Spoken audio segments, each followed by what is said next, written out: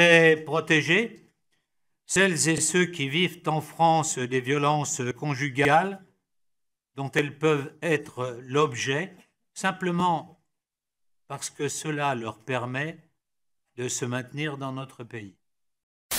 Ce sont quelques centaines de milliers de personnes qu'il nous faudrait accueillir chaque année en France. Peut-on penser que nous pourrions construire chaque année une ville de taille moyenne pour accueillir euh, ces réfugiés Et si nous ne le faisons pas, où iront-ils?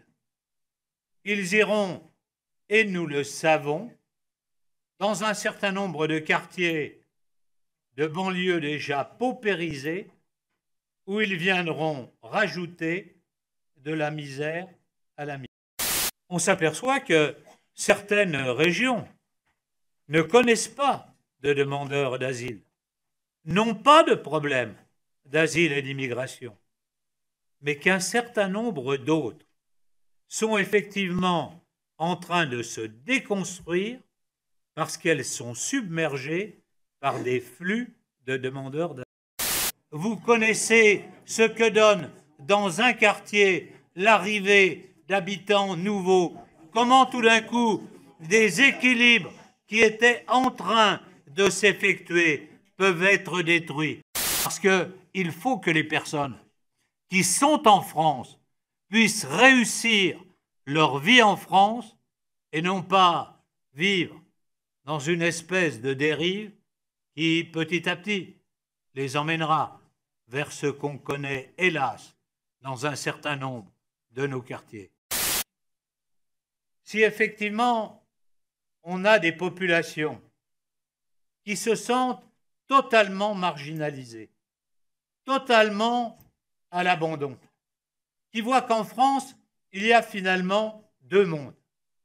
Alors, il ne faudra pas s'étonner demain que se produisent dans notre pays un certain nombre de dérives.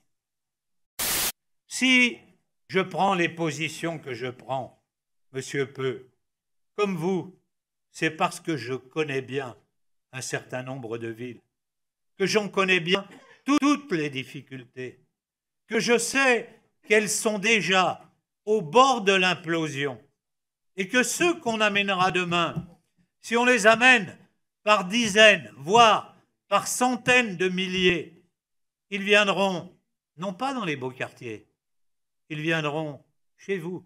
Et ils, sont là, ils sont dans les campagnes, dans les villes. Mesdames et messieurs les commissaires, j'ai peur que si jamais nous ne résolvions pas le problème qui est devant nous, avec euh, une volonté d'humanisme, mais en même temps d'efficacité. D'autres demain se chargent de le résoudre, sans humanisme, mais avec euh, une grande volonté. Et que demain, d'autres régimes pourraient prendre des mesures qui sont totalement radicales. La peur est le chemin du côté obscur. La peur mène à la colère, la colère mène à la haine, la haine mène à la souffrance.